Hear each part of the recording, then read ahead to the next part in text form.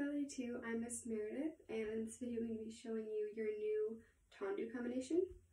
Um, so you're going to start at the barre, and you're going to do your preparation, and you go tendu and close, tendu and close, tendu front, plie to tendu back, and close. And now you go side, tendu and close, tendu and close, tendu side, tablier, out the other foot, tablier back to the barre, and close back. And now you go back.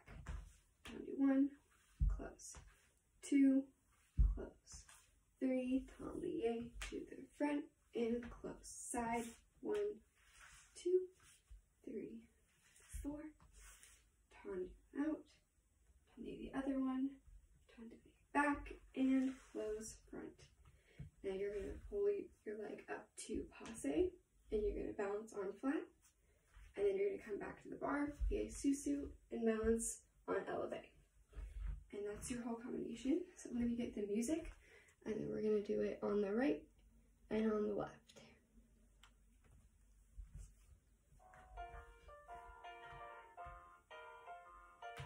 Front, close, two, close, and tummy back and close to the side.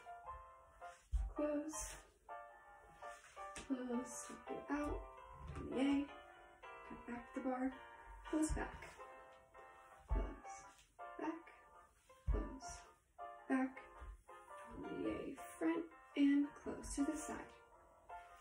Two, three, four, out, yay, back, and close. Drawing your foot up to passe, keeping your heel forward and just the toes touching your knee. Balance. And come back to the barre. Plie sous-sus. Back up to passe.